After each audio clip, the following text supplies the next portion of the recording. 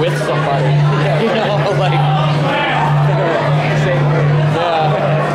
All right, we're the, the Heaven's Gate Away team. Uh, we look forward to worshiping with you all tonight. If you don't mind, I'd like to start this performance off with a moment of prayer. Sneak to the middle. So if everyone would please bow their heads in respect. Marshall Applewhite,